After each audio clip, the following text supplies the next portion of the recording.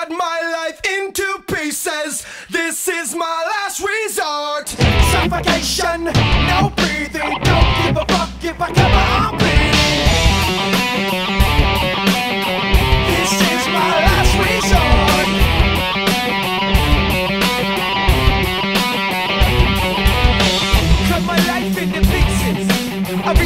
resort. Suffocation, no breathing.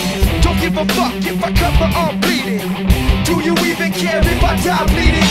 Would it be wrong? Would it be right? Who took my life tonight? Chances are that I might. Mutilation out of sight. And I'm contemplating suicide. Cause I'm losing my sight,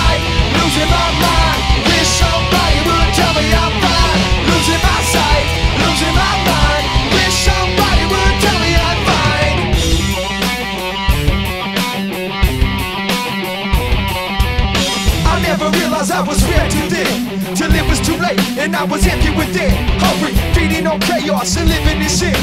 Terror, spiral, where do I begin?